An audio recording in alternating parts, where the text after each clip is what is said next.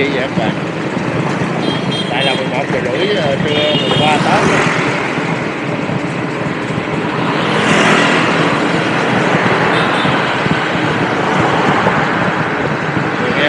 đang đi là ở ờ, Tiến cảnh thị trấn Móng Chài rồi đầu quốc lộ 60 Lộ 60 thì có hai cái, một cái cũ, một cái mới. Ở Tiến Tránh này là cái quốc lộ 60 mới này lộ số 10 cũ là đi ngang là phần Móng Cài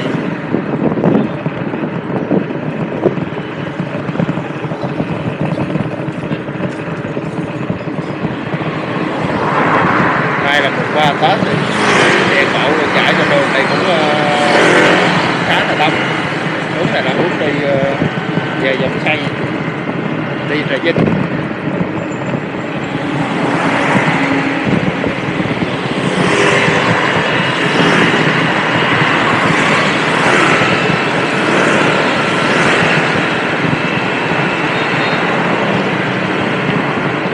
Đường này với lại ờ, quốc lộ 60 đi qua cầu Móng Cài là hai cái tuyến đường mà, mà đông xe cộ nhất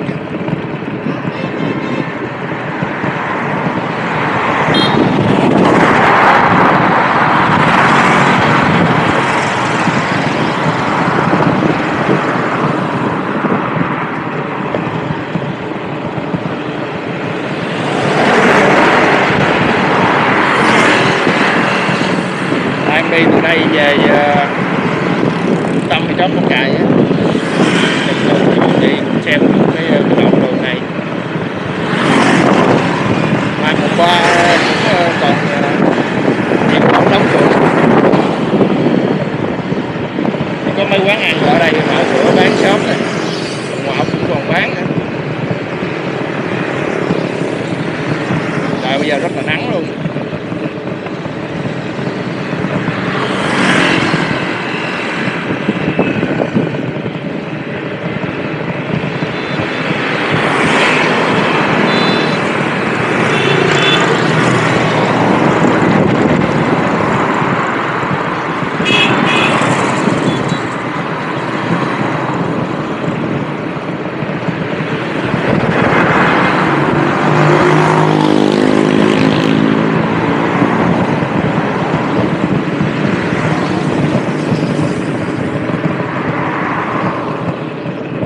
đường này đi làm sao nhưng mà nó rộng trong cỡ uh, quốc số một cổng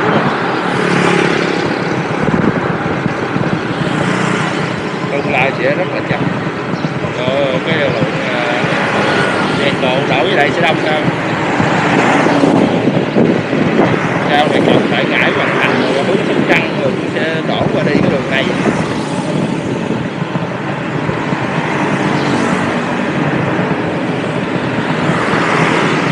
đường là đường chính là từ Bến Tre đi Trà Vinh nè và lại Nguyễn Thiện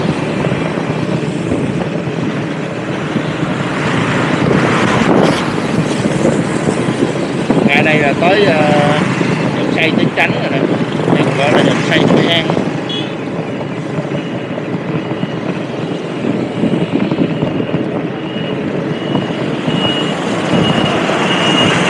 Ở này đi thẳng thì Vinh luôn cái thì về thì thị trấn nó Cài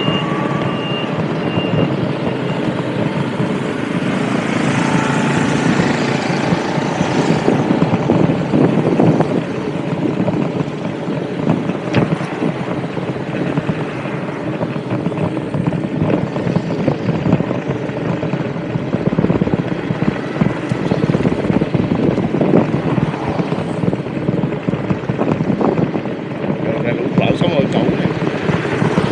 Theo đi đây em thấy ờ, vắng vẻ hơn liền Giờ mấy cái xe lớn tinh tránh.